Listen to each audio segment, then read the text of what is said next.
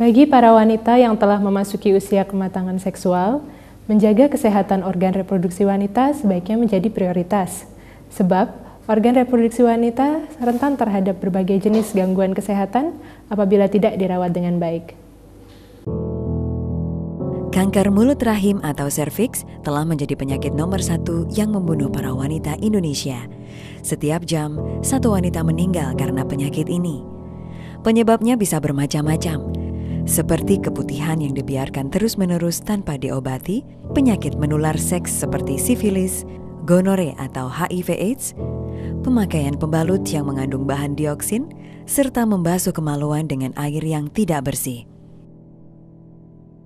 Kanker serviks utamanya disebabkan oleh virus HPV atau Human Papilloma Virus. Virus ini terdapat di mana-mana seperti air, pembalut, atau pakaian dalam. Salah satu cara yang paling mudah dilakukan untuk menghindari virus HPV adalah menjaga kebersihan tubuh setiap hari, terutama kebersihan di daerah kewanitaan dari pengaruh lingkungan di sekitar Anda.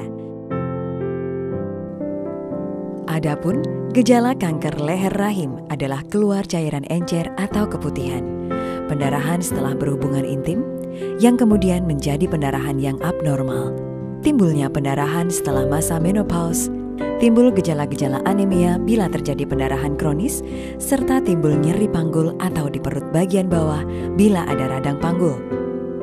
Bagaimana cara mencegah kanker serviks? Caranya adalah rajin melakukan pap smear setiap dua tahun sekali bagi yang sudah aktif secara seksual. Melakukan vaksinasi HPV bagi yang belum pernah melakukan kontak secara seksual, setia pada pasangan Anda, dan tentunya memelihara kesehatan tubuh setiap hari. Oleh sebab itu, cegah kanker serviks sedini mungkin sebelum terlambat. Iklan layanan masyarakat ini dipersembahkan oleh PT NASA Natural Nusantara.